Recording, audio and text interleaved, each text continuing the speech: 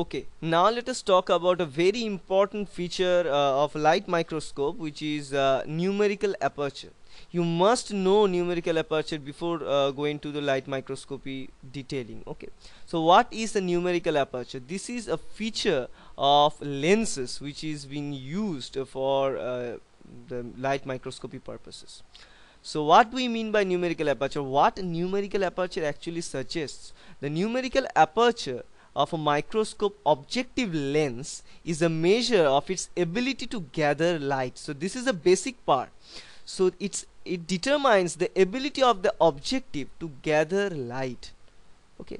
And what numerical aperture is doing in a greater scale it is actually helping to resolve the specimen detail. Now what do you mean by resolving the specimen detail? It means uh, to distinguish the, the different small points as separate entities. This is called the resolving power. So what is the resolving power actually? The resolving power is the power of an objective lens or of an our eye. So if we uh, think about generalized terms to separate to distinguish between two different points as separate entities so as long as we can separate two different uh, points as a separate entities we can call our resolving power the distance between them we call we call our, our resolving power.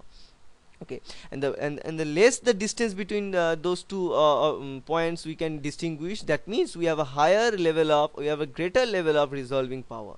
Normally our human eye cannot be able to separate the points uh, in of a miniature scale in a miniature scale. That's why we need lenses like objective lenses to resolve better to resolve much much better. Now i can i must say one thing clearly. Uh, as it is called microscope uh, and and many people think the only uh, purpose of a microscope is to magnify things is completely wrong because microscope is designed not only to magnify an object but also to see that object in much more resolving power okay. So ma magnification along with resolving power will, will are the mm, good properties of a microscope. So if you think about a good microscope it must resolve better and it must mm, uh, it has to be have two this two of these uh, properties. One you have to resolve better. Second one is to magnification to, to magnify uh, properly. Now uh, what is numerical aperture actually? So uh, as I've told numerical aperture uh, if we think about the ma mathematical terms then you can say numerical aperture is something that you cannot see or you cannot see by looking at the objective by looking at uh, uh the setup of a microscope. You can see numerical aperture written in the in this microscope lens but that doesn't mean how you cannot know how this numerical aperture come to exist okay. So this numerical aperture if you think about the mathematical equation that can be derived from this new looking at this numerical aperture uh, that is uh, in a numerical aperture designated as caps n caps a it equals to n sine alpha so this is the formula for a numerical aperture. I want you to uh, look at this formula. Why? Because I'm telling you in a moment. Because you, if you look at this formula if you memorize this formula then you can know all the properties of numerical aperture. Because when you have to fiddle around, around this numerical aperture so not uh, usually uh, the people who are handling microscope usually have to fiddle around with this numerical aperture. But those who are manufacturing it have to do that. And what they can do by mm, changing something uh, from one place to another place the numerical aperture can be varied. And you can know this numerical aperture have a very very serious effect in the resolving power. So if you change numerical aperture it will affect the resolving power. Okay. So again uh, back to the equation. Na equals to n sine alpha. So in this case n we know this name n. It means the refractive index of a medium and what do you mean by refractive index? I am just repeating it again. Refractive index is just the difference of velocity uh, of a light in uh, vacuum divided by the, the velocity of a light in a particular medium. Okay. Or uh, in, in, a, in the example medium in this case. Okay. So it is the n. So this numerical aperture into sine alpha. What do we mean by the sine alpha? Normally we know that sine alpha this kind of thing designates the angle. Uh, so in this case also the alpha means here is a cone. So if we think about this if we think about objective is there and this is our uh, specimen this is our slide where we can put specimen.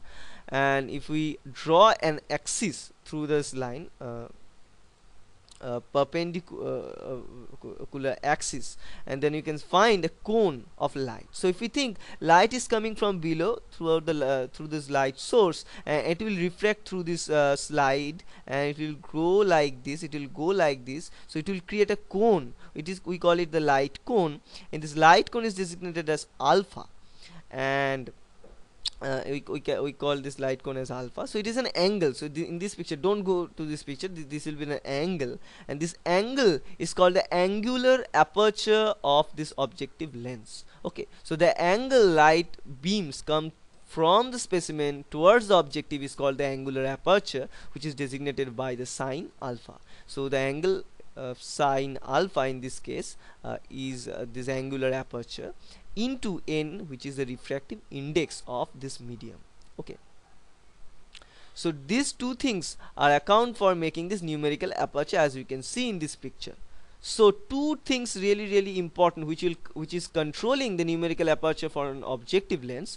It is one is the refractive index of the medium and second one is the angular aperture. That means this angular aperture also depends on two things. One is uh, uh, the wavelength of light which is designated as uh, lambda as well as another one is the distance of objective from the specimen slide.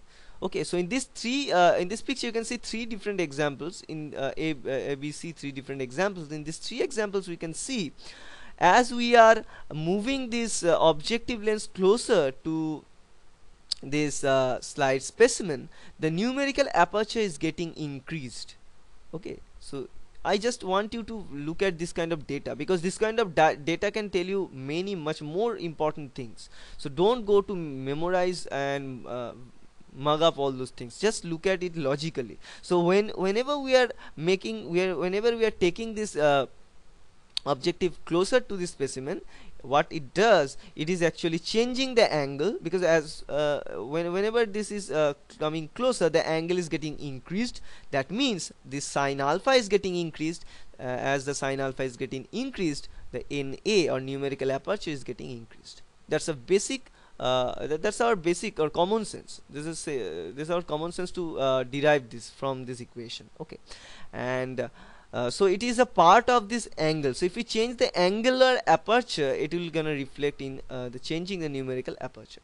Now what about the second term or, or what is the n or refractive index? If we change the refractive index it will again change the numerical aperture. If we rise the refractive index it will change the numerical aperture. That means if we change n if we rise n it will rise our numerical aperture. So let's look at how can we rise a refractive index. Okay now let's look back to the equation of a refractive index uh, which is n equals to c which is the velocity of light in uh, um, air or in vacuum divided by n uh, or divided by v small v say. So this v de denote uh, denotes the velocity of light in uh, the in the uh, in example media in this case which is again air so if we think the n in air then it will be 1 into sine alpha. So we can designate it n equals n equals sine alpha in air.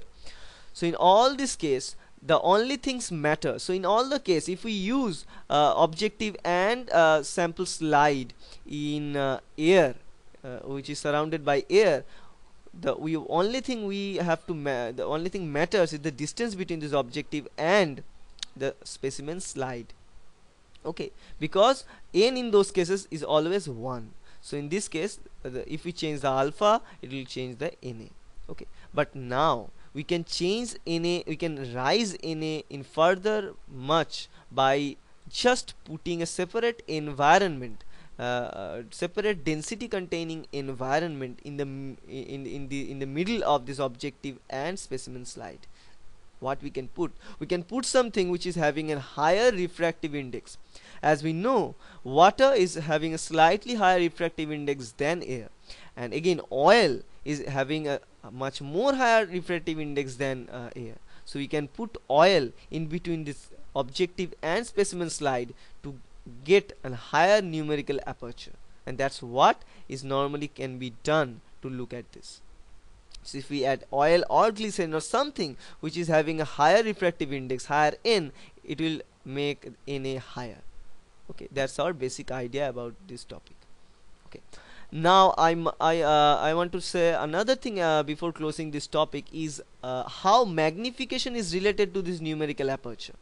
So magnification is not hampered by numerical aperture. So if we can rise this numerical aperture more and more it will gonna rise the magnification power that's good right? So we need a higher magnification power because ultimately we need to magnify the specimen which we cannot see with our bare eyes.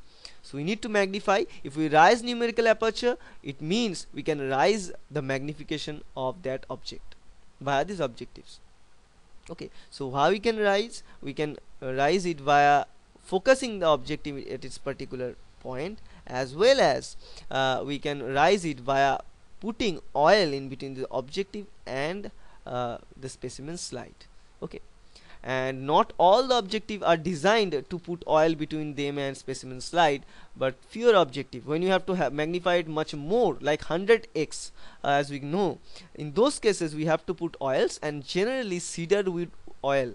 Cedar wood oil uh, is a type of oil which has been taken. So if you use those cedar wood oil uh, in between the objective and specimen slide it it normally rises. It helps to rise the magnification power in much more ability. Not only magnification power but the resolving power.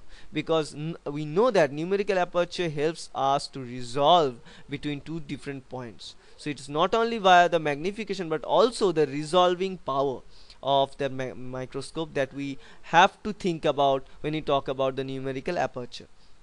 Okay so if you are rising numerical aperture that means we are rising uh, the mm, uh, we are rising the magnification power but after some point resolving power of the uh, uh, after some point as we are increasing the magnification power but the resolving power will get decrease. in those situations we need to control the resolving power and we can control the resolving power we can improve the resolving power by putting oil in between the objective and the slide okay